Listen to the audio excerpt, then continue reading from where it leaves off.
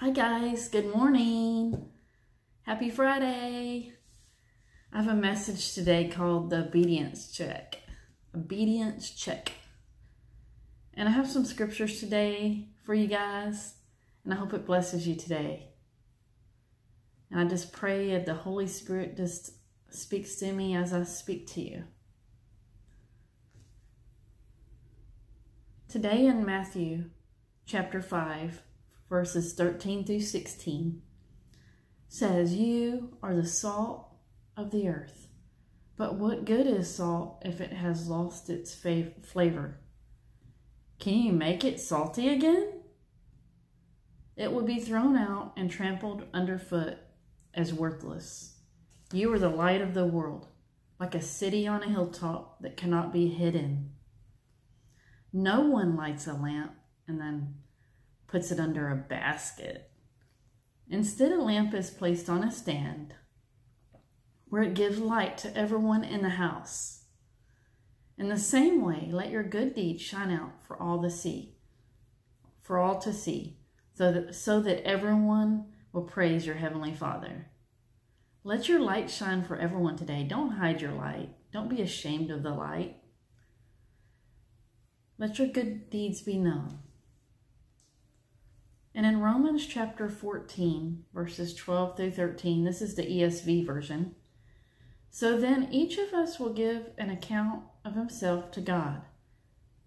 Therefore, let us not pass judgment on one another any longer, but rather decide never to put a stumbling block or hindrance in the way of a brother. Don't try to make somebody else slip. Let's love others and pray for them.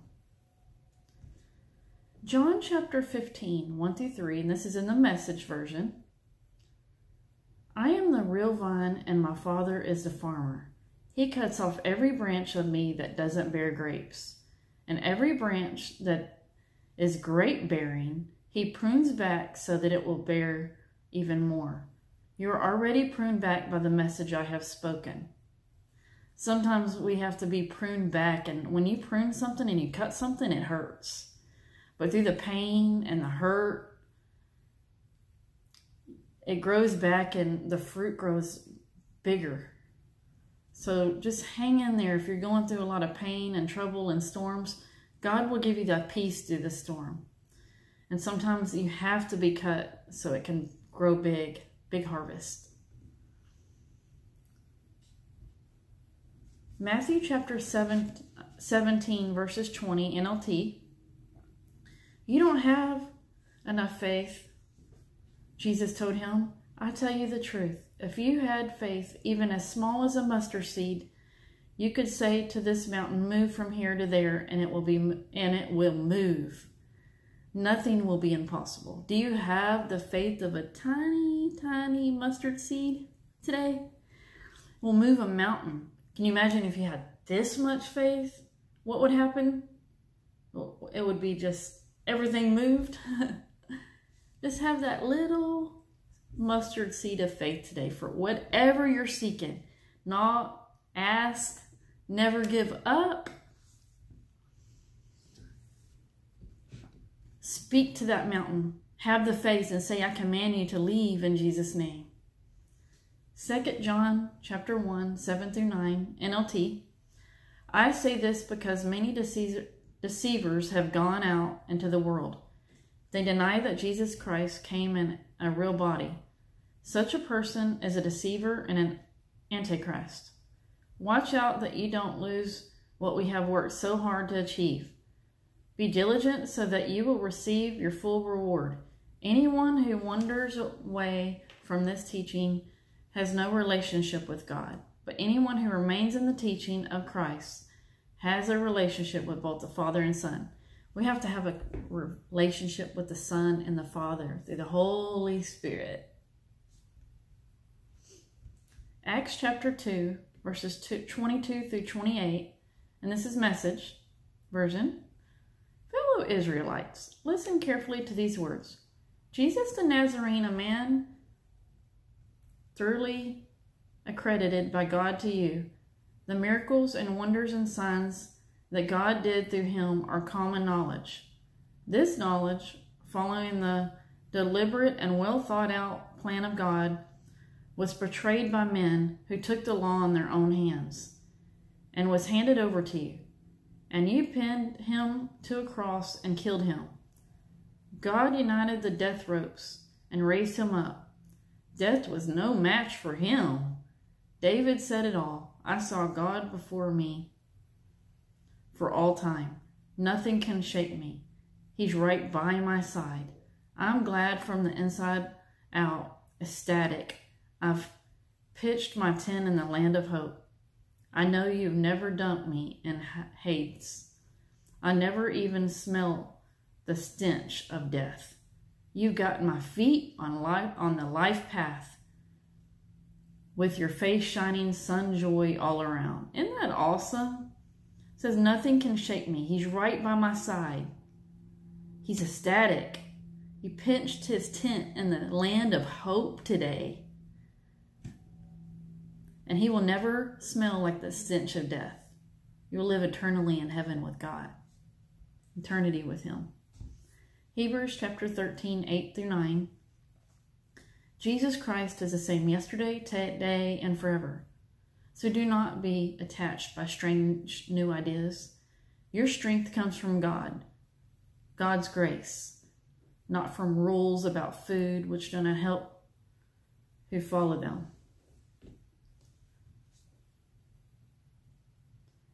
Luke chapter 4, NLT, Jesus replied, The scripture said you must worship the Lord your God and serve him today. For the scripture says he will order his angels to protect and guard you. Jesus responded, The scriptures also say you must not test the Lord your God. The Spirit of the Lord is upon me, for he has anointed me to bring good news to the poor. He has sent me to proclaim the captives will be released, that the blind will see, that the oppressed will be free, and that the time of the Lord favor has come. The blind will see, the captives will be released in Jesus' name today. The oppressed will be free. I claim it in each and every life that is hearing this message today. It's an order from God. He says it's done. Psalms 91 11 through 16. For he will order his angels to protect you wherever you go. Isn't that awesome how he can just order his angels to protect you? They will hold you up with their hands so you won't even hurt your foot on a stone. Wow. That's pretty awesome. You will trample upon the lions and cobras. You will crush fierce lions and serpents under your feet. You will crush the serpents and the lions under your feet. The angels are there protecting you. The Lord says, I will rescue those who love me. Do you love, do you heart God today? I will protect those who trust in him, my name. When they call on me, I will answer. Call on him today. Jesus. I will be with them in trouble. I will rescue and honor them. I will reward them with a long life and give them my salvation. Matthew 13, 9 and 12, verse 9 and 12. Anyone who hears, anyone with ears to hear, should listen and understand. You have ears to hear? To those who listen to my teaching, more understanding will be given, and they will have an abundance of knowledge. But for those who are not listening, even what little understanding they have will be taken away. Listen to the Holy Spirit. Sometimes you have to slow down, turn the TV off, turn the music off, turn your phone off. Go to that place where you can hear. Watch the rewatch the War Room the other day. Wow, she was just walking around the house claiming victory, praying for her husband, praying for things, posting scriptures on the wall in her closet. It was a good movie. Psalms chapter 30, verse 5 For his anger lasts only a moment, but his favor lasts a lifetime. Weeping may last through the night, but joy will come in the morning. Your weeping mightn't be today, but he promises, I'm claiming it for you, that joy will come today for you. 2 Corinthians chapter 5, 7, this is the amplified version. For we walk by faith, not by sight, living our lives in a manner consistent with our confident belief in God's promises. We live by faith and not by sight. Stop looking at the waves. Stop looking at the virus. Stop looking at the storms. Stop looking at the panic of everybody running around like they're scared. We walk today by faith, not by sight.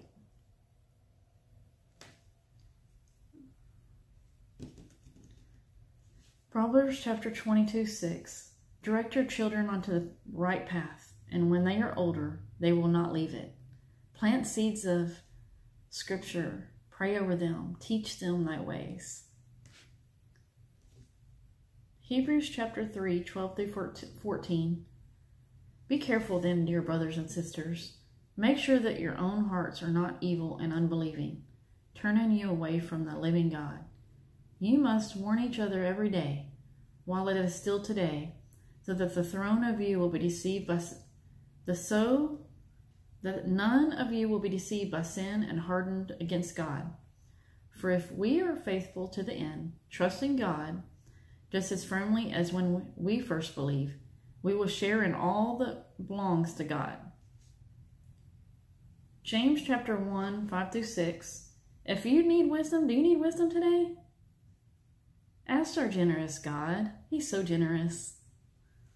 And He will give it to you. He will not rebuke you for asking.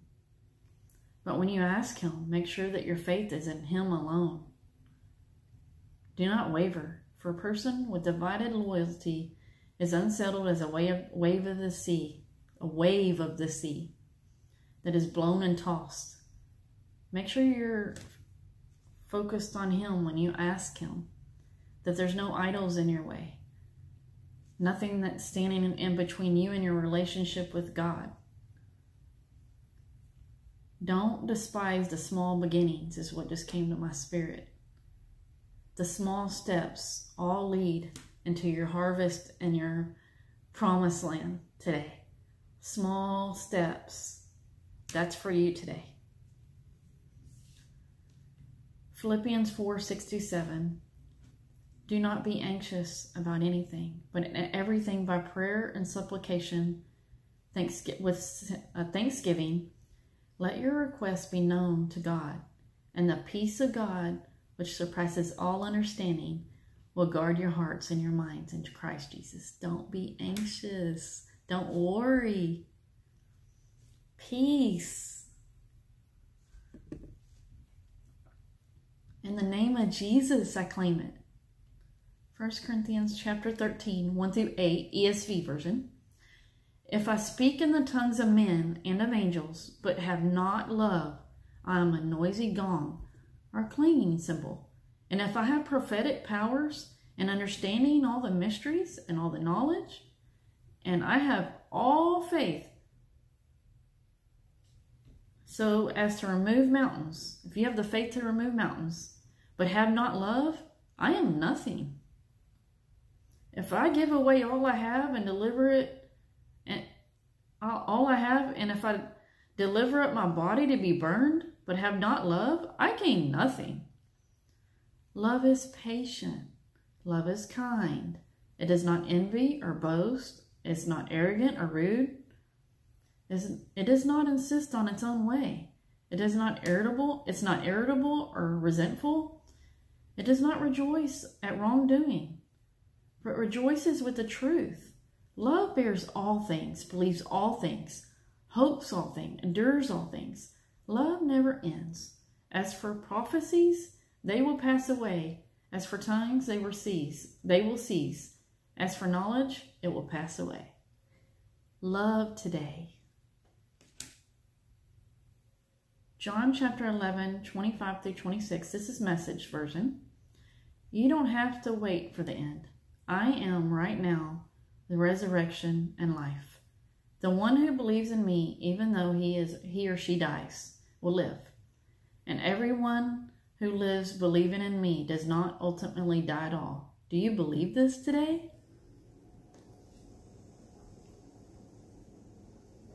Remember today, the blind eyes will open. Strongholds will be broken in Jesus' name. God will shine a light in the darkness today. You might see dark clouds, but that light is coming. As I speak, the light's coming. I claim it. Victory! God is here to stay in the hearts of his believers. Remember, the same power that rose Jesus from the dead lives inside of you. Picture it. The same power. Victory. Victory is his. From the depths of your heart, love him today. Love him. He will not let your foot slip. He who watches over you will not slumber. He never sleeps. There is no shadow you won't light up. Mountain he won't climb up.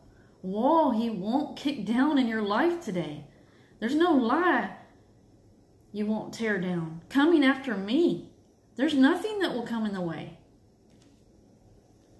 That is God's reckless love, uh, overwhelming like reckless love. And I wrote this down. It's not in the Bible, but it spoke to me. The serenity prayer people often do with drug rehabs and things like that, addictions. God grant me the serenity to accept the things I cannot change. Courage, courage to change the things I can. And the wisdom from the Holy Spirit to know the difference. Living one day at a time. Don't worry about the past. Don't worry about the future. God gives you bread for today. Each day, he says in the Bible, I give you daily bread. He don't give you a bread for a week because then you miss the other six days. He given you bread for today, wisdom, knowledge for today.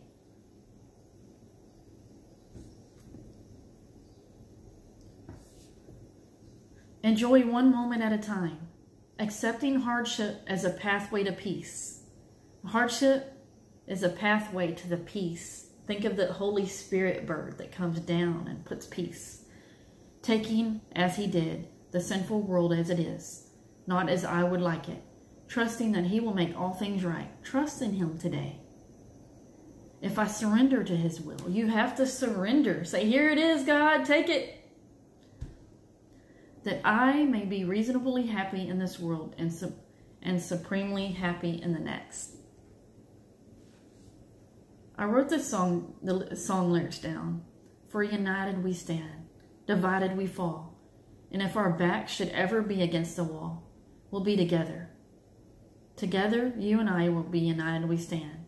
Divided we fall, our backs should, ev should ever be against the wall.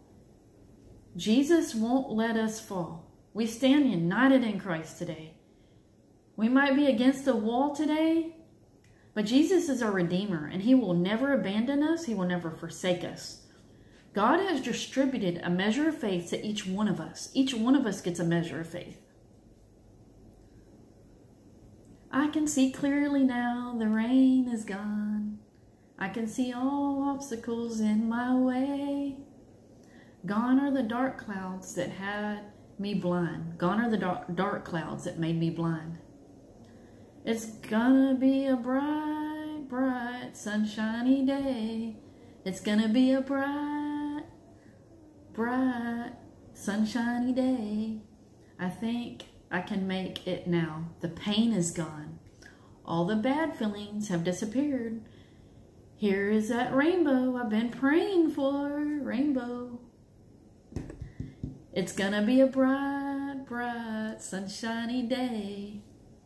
Look all around. There's nothing but blue skies. Look straight ahead. There's nothing but blue skies. I can see clearly now. The rain is gone. I can see all obstacles in my way. Gone are the... Isn't that awesome? That is amazing. Remember my last notes today. Remain attached to the vine, which is Jesus. Because that's how you're going to produce much fruit. Keep knocking and he will provide and he will give you what you ask for. Keep seeking him today. Jesus Christ is the same yesterday, today, and forever. Er, forever. I was reminded how um, Jesus walked on water, and when um, was it Peter that walked on the water? He lost he lost focus on God, so he started sinking. So today, let's keep our focus on God, then we won't sink. We'll walk on the water. The storms may come, but we will walk by faith and not by sight. I love you guys. Message me anytime you need anything. I pray for victory. Victory is in your camp today, so don't worry. Victory. Love you. Bye.